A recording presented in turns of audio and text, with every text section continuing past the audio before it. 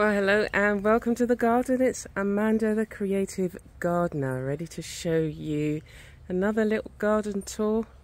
The garden changes so much over the seasons. I mean, we have the dry season and the rainy season, and I guess you could call the hurricane season. But anyway, so I thought I would give you an update. It's um, it's been raining quite heavily. Where at the beginning of the rainy season, We've had Brett pass us, Cindy went over to the north, and I think um, Don is the next one, the next named system.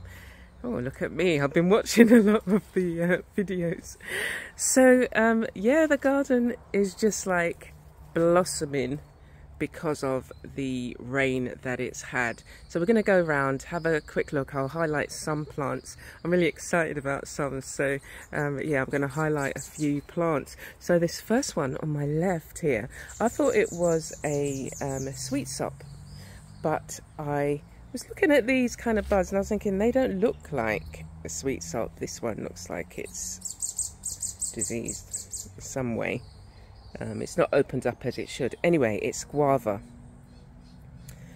So I knew I had some seeds and I did dash them in the garden. But yeah, the leaves are very similar to the sweet sop.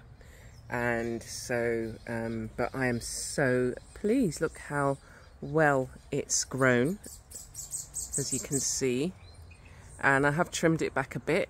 You can make tea from the leaves. So I did that when I thought it was um, sweet sop but I was pleased to know that you could make tea from the leaves. And um, yeah I'm looking forward to the fruit.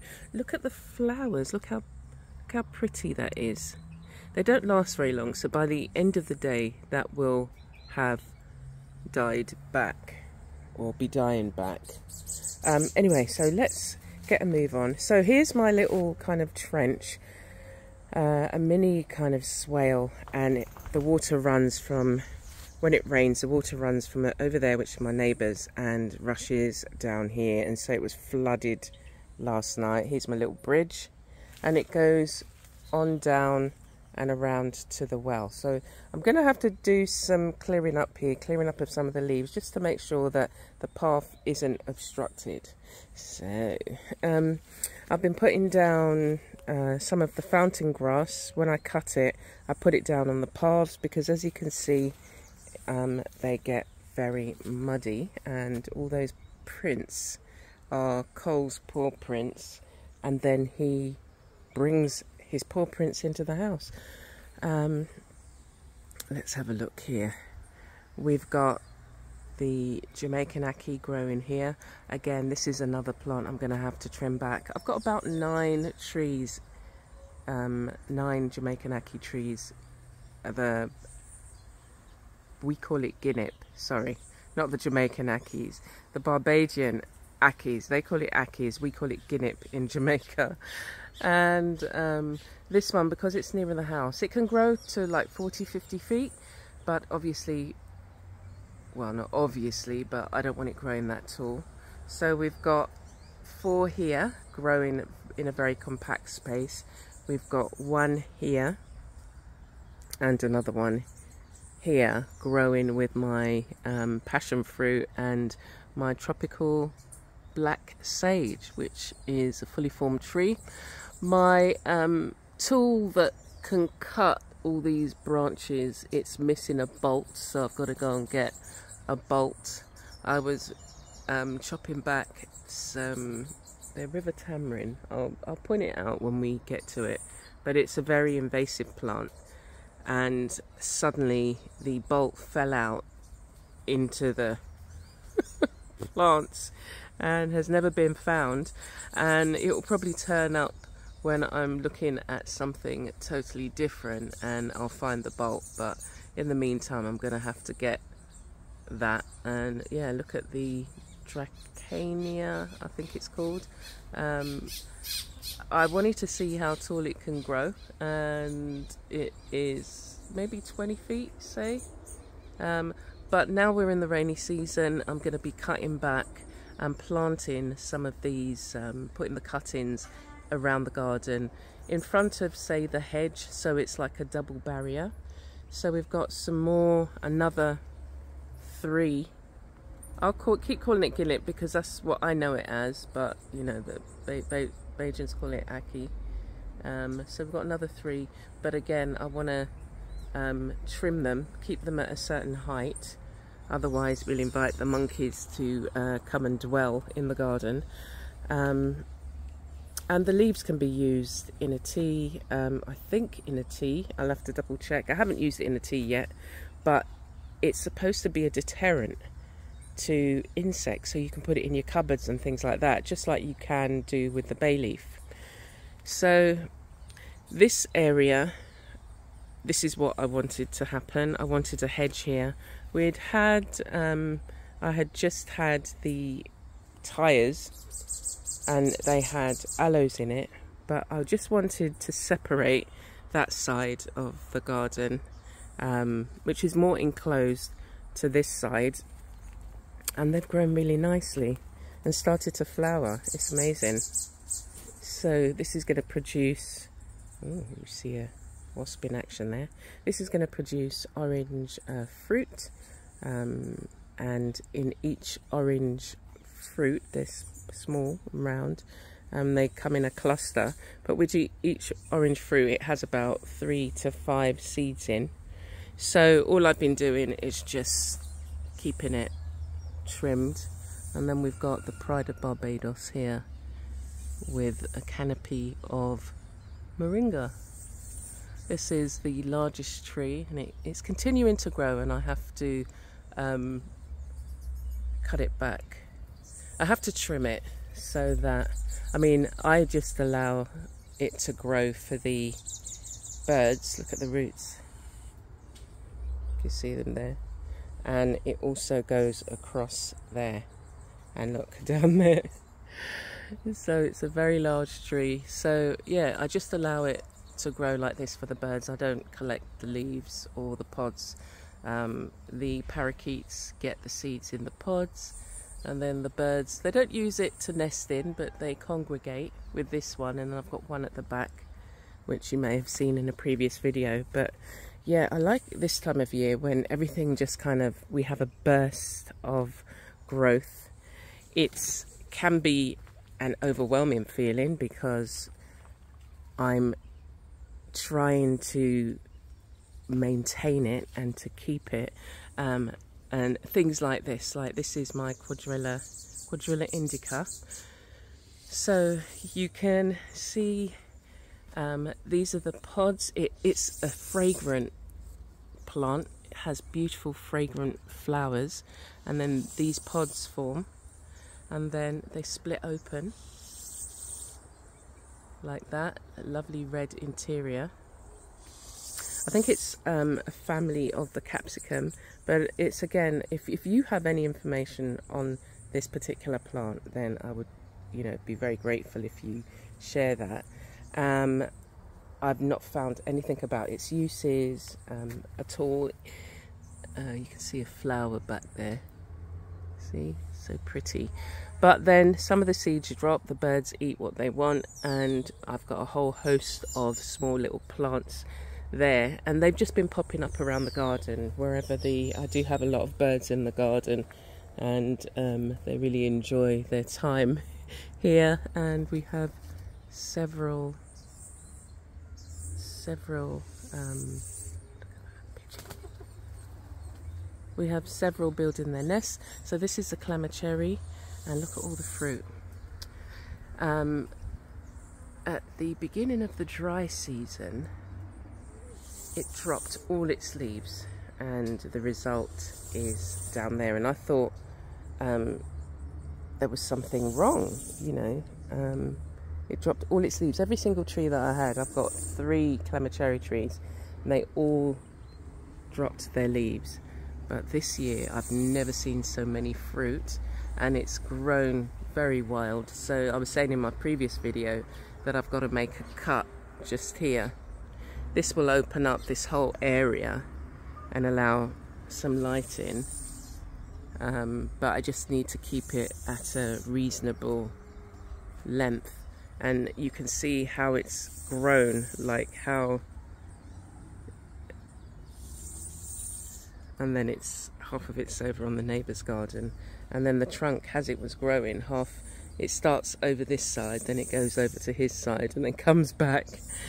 Um, but yeah these fruit so I am definitely gonna try and make you can make a jam from them and see what other uses I've got. I can you know try out my apple blossom tree. So as I say everything is just you know really coming into its own. My Suriname cherry it had flowers a few months ago and I was hopeful that I was going to get some cherries but it's just like oh no more leaves have have grown. But who knows with the um, you know all the rain and it's you know quite warm as well um, we'll be seeing some fruit pop up. Okay so what else can I share? My bay leaf plant which is hard to recognize between the this is another quadrella indica and they've been popping up all over the garden. So I decided just to leave them grow where they want like some of the main ones. And um, so they're interspersed in between uh, the fruit trees um, this is the bay leaf which is looking very healthy um, I had found lots of tiny little seedlings bay leaf seedlings. Um, some of them I tried moving, some of them I put in pots and they just didn't like it. so they're no more. Um, but that's the main one. I've got a couple others I've just left to grow where they decided to emerge. And in here we have the, this is known as the Vicks plant. That's not, it's obviously um, proper name, uh, Lat uh, Latin name. And we've got turmeric growing here. We've got a passion. There's a yellow passion fruit plant there. And we've got mango. This one was also flowering. And I'm just hopeful. I was just like, I was sure that come September, we would have, even if it's just like three mangoes on here, if not more because it was kind of pushing out the flowers it did it three times and they died back um, under the shade of the apple blossom tree the weary traveller made her way along the paths so we've got um, another things are emerging from the from the ground look at that it's just like in all these months, this is um, what a tiler would use to separate the tiles. I've found china, like broken china, emerging from the soil. As the soil washes away, um, you know, the rains very heavily. More quadrella indica, some tropical black sage here got another mango tree. There's um, three in this corner.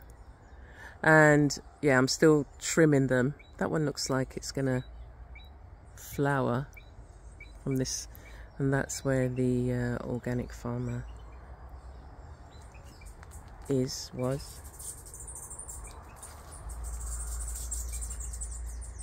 We've got, um, oh my gosh, mahogany there. That's a small plant. I was going to try and move it. Um, I just need the right tools so that I can put it in a space that's got more, um, a, a, it's got more space basically. I'll probably put it out at the front of the garden. I don't want it growing really big here. Um, so when we look at this section, I really do, this is a section that had the most work on it and the plants are coming up. I've trimmed back, experimented, and I think I've got the, um, that's my five-fingered fruit there. Um, I think I've got the fruit trees that I want growing here for now. Um, three mangoes, the, the Suriname cherry, the five-fingered fruit. We've got bay leaf, and then other plants which can be used in tea, the tropical black sage, even the pomegranate, this uh, pomegranate is finely growing. This one produces dark, deep red fruit, and I've been nursing this to try and make sure that it grows to its fullest extent. Okay, so the next section that's been doing well is my garden bags. They're from, um, I think I got them, did I get them in Ikea? And we've got some tarp for, uh, the tarp down there was being used to cover some areas and to cover, I had a little table and tyres there, but the termites just got to it. Um, and then we've got this section which is there's a lot of aloes. We've got a lot of aloes growing in the garden. I counted um, over 300 plants, which is just like mind blowing. But they just continue to produce baby pups. And so I take them, I move them like I'd moved some here and there growing and pushing. Look at all the all the baby pups behind them. And then I did the same here. I took some of the babies and put them along. I decided to put them along all around the edge of the garden. This is like a border because there was nowhere else I could put them. Um, as you see a lot of plants I've just allowed to stay together. And I just moved the smaller ones. Um, I might have to move that. There's a there's a pineapple growing there and the henna we've got here. And my do you recognize this? It's a ground provision. Oh my gosh it slipped my mind. Anyway I've talked about it before and if I remember I will tell you. Pine uh, coconut there growing.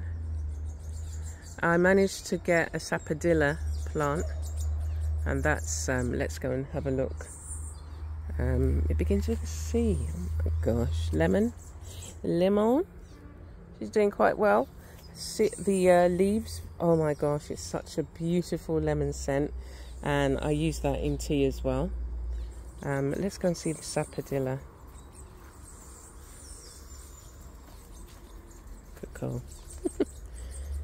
Um, I'm not sure whether it's going to fruit this year. Um, it's probably about, I think I've had it for two years. Um, I didn't plant it from seed. So I think it might be, and it's interesting the way that it's grown. And I use this in tea as well, the leaves, um, and I just keep it trimmed um, I forgot to show you the curry leaf plant that's growing quite well. Oh, and uh, I was given um, dragon fruit and it's really grown very well and I've taken some cuttings from it and I've put them in different places. I'll show you how they've been growing. So this is my um, curry leaf and it was under attack at one point I have to come back in. Yeah, no, it's clear at the moment. It was under attack. Where is it? I'm going to have to come and spray it with some neem. But when you spray, it seems to do, yeah, um, as a preventative as well as, you know, you don't want to wait until it gets so crowded with, I had lots of black fly um, and maybe some white fly. Yeah, I can see some action on here, so I'm going to have to I can see quite a lot of action. What's going on, guys? Can you see them? Oh my days. Um, we've got the can canistel and I'm not sure why the leaves are turning brown. Um, I had scattered some Epsom salts in the area, so I may have been too over heavy-handed. Um, so I split up some of the dragon fruit and I put this one here so that it could have some support. And then I realised that, you know, in the desert, wherever they normally grow, um, they grow without a stake. So I've put another one over here, and that's grown weirdly. while it's growing. It's just like maybe shocked that it's in the soil because um, it was in a pot and then I took a cut in. Those are aerial roots that you can see coming out and um, the bit that's growing on the end it's got a lot more spikes. If they go into your finger it really does hurt. Um, I didn't realise at first and uh, got pricked with the spines and they're very fine. Um, what else can I show you? I've got um, a lot of the Quadrella indica that I mentioned earlier, like all of these, these little ones. I've got to move all of them and they're all under here as well. Let's just move this way. This is um, Quadrella indica and then we've got all of the little plantlets underneath. Look at that. It's on the rock. It's a lizard.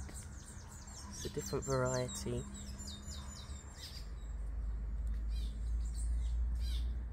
of lizard that we have. We have several different varieties of lizard in the garden. This is a prickly pear and around it I've placed some wire wool um, I think it was the smaller snails that were getting to it and maybe the slugs. Um, so I thought I would try that as a deterrent. I've been trying everything else, um, but they seem to really like the uh, prickly pear. It uh, seems to be a, a delicacy to them. Um, and I've got some more I've got another one here that is growing nicely. And I've just put around it the wire wool there. And here's some more dragon fruit. So I'm just gonna see how they go. I've still got some more in plants and um, I can take uh, cuttings. It's quite easy to take cuttings. You take a cutting at a joint, you allow it to dry, and then you can plant it. So I'm going to have to trim back the, this is a Quadrella indica again with its pods. We don't want any more pods dropping here. I thought I would put some more fruit bearing plants in this section. Um,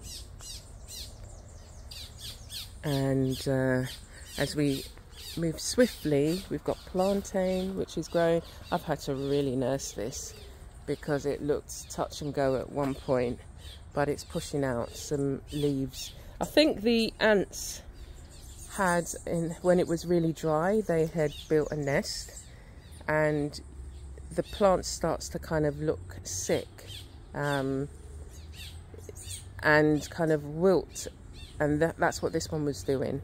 So um, yeah I've been on it with making sure that it got adequate water and uh, it seems to be responding.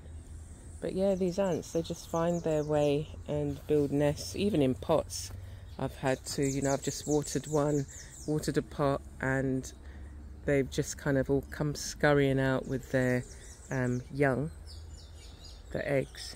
It's cool just went to see his friends. so by the well we have more aloes growing. Um, because this isn't a deep, it doesn't have deep roots, um, I put these here. And again in this section, this was the section I showed in a previous video that I'm going to be growing um, sort of like, you know, okra, um, um, pumpkin, squash, We've got one here and we've got a snail there that looks like it would be munching on the leaves. We've got quite a few in here so I'm just going to pick it up and move it. Yeah, so I've just been covering this area and um, when I'm ready, I've been scattering some seeds but the snails have been getting at them. Um, so when I'm ready, I'm going to add some soil. Um, I'm just keeping adding, you know, when I do chop and drop, the Mexican sunflower is growing really well, so I'm going to be chopping that back and then layering it here, and then that just dies down. And it's going to provide an environment where, you know, this, it, the soil becomes rich. There was soil here. I put a layer of cardboard and I've just been chopping and allowing things to break down in this area. And then we've got the rest of the garden. That's everything's very green. Um, again because of the rain let's see the banana tree. Well it's not a tree technically. But it's pushing out yeah grass is going to need to be cut in the next week or so but yeah look at that and then the baby growing beside it. We've got some more Mexican sunflower growing really well. And then we've got more aloe plants. Oops, sorry, I'm so careful.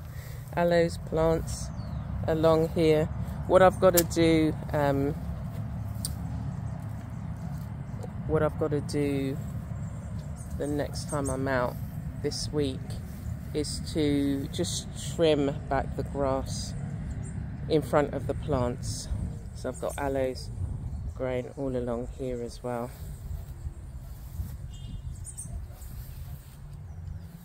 And yeah, the rest of the uh, garden's looking well. Um, as I say, the more rain we get, the more things like the broadleaf thyme and all the other plants need to be trimmed back. This is my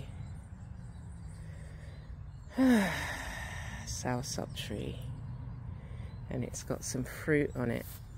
Look at that. So I have to be um, mindful about the pests.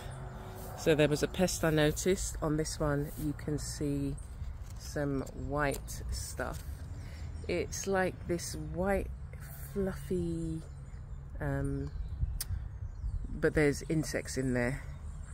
And so I sprayed it with some neem oil and some soapy water and it's doing well.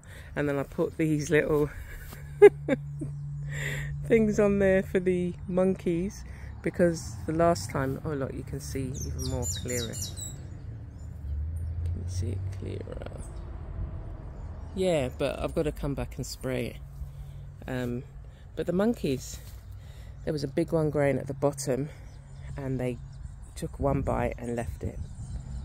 And obviously, you know, you're not going to eat after the monkey's been at it. So I just took the seeds out and replanted them.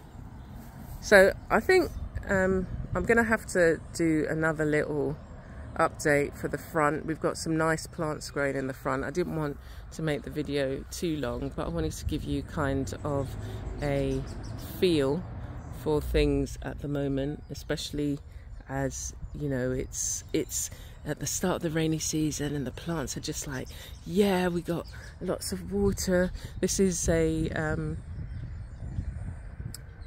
river tamarind, the one that I was telling you about, that's quite invasive. So all of those little brown things you can see are, are seeds and it's got about eight to ten seeds in there. And as they below, they then get everywhere. And I've been picking them out. In some places I've left them, like I left them at the front of the space here because I'm aiming to just keep them low kind of pretty much like this one. I still have to cut this one back. Um, so I'm just going to keep it up to there. And then it also becomes, you know, part of the, we've got the deadwood hedge. A deadwood hedge and a broadleaf thyme hedge. Um, but it gives you, you know, some separation. Um, so I'm keeping them at a certain height. This one, I've just not had the tools. I need to cut these back as well. So these are all going to be cut back so that they'll just grow at this height that's going to be the guide and that is the um, tropical black sage that's growing there and that's just growing kind of wild and I've got some a cotton plant as well on the other side that's just kind of trying to take over to an extent but um, yeah this is the garden so far and it's all coming on and it's it's it's something that um, you know I have to I come out every day and I spend a couple of hours doing different things um, warring with the slugs and the snails and then just keeping an eye on the plants cutting them back seeing which plants need to be uh, not necessarily moved but cut back and um, planted in a different spot. In this area I was trying to what I'm trying to do is just keep the grass down at the back there and I'm going to plant flowers here. I just wanted a, you know a set of wildflowers to then grow in this area. So I thought that would be interesting to have that. Um, that would be nice. I've got some um, I've just got a packet of mixed seeds that I brought. In the back there we've got um, Pride of Barbados so that's going to be a yellow. We've got the yellow of the Mexican sunflower and part deadwood hedge. Because when I chop and drop with the large branches, I'll just place them in there. Um, and uh, yeah, so we're going to have flowers there. And I'm going to have to trim the noni. I need to just trim it there. And then I've got some Look, I don't know whether it's the birds or a rat. I've seen some rats around um, biting. Look, half of it's been bitten. So what I need to do is um, get these off. I've got some jars and I want to ferment some. Um, the noni is good for boosting the immune system. I often drink the leaves um, to make make tea from the leaves and I think I'll probably take you. Thank you very much. So I just um, break this up and make some tea with it. Um, green tea, I'll use uh, the bay leaf and maybe some rosemary. The neem, got some seeds, loads of seeds. This is uh, one of my proudest accomplishments. I've always wanted to grow neem and I grew it from seed and they've been it's been growing beautifully um, as is all the plants just in case they hear me um, and uh, I've got another neem tree and then of course obviously with the seeds they drop and we've got some baby plants growing I did say I was going to finish soon. But um, some more um. Sorry, yeah, guinep. Jamaican, Barbadian, Bajan, Ackee. Well, I think this is two, yeah. And then I've got another one. See, I've got another one at the front that I've said can grow to its full extent but these ones I don't want I'm gonna have to trim them again because this is too near the well. And I've got another one just along the side here that I've been debating with as to whether it can grow full size. This one. So we'll see because it does then create a lot of shade. Um, but I think yeah I'm gonna leave it at that to grow and then we'll just keep trimming it. So that's the garden for now. I hope you've enjoyed the tour and coming round with me. Um, if there are any plants you saw that you wanted that you wanted to ask any questions about, you know, please do leave a comment. Let me know where you're watching from and um, what you're growing you know we we don't all have large spaces to grow um, but even if we can grow in a pot we can be semi self-sufficient and um, provide something um, nutritious for our family. And uh, and also to have things around you that are pretty like one of the the main things that I wanted was to have fragrance in the garden and we're coming to the end of this the uh, giant crinum lily. Um, but it, the beautiful it's a deep beautiful fragrance. I wish I could capture it. Um, I will maybe think about doing that uh, soaking it the flowers in oil and uh, see if I can transfer some of the scent but it is a beautiful deep rich scent that you get. So you take care for now and I hope to to speak to you soon. But um, I will see you again in the next video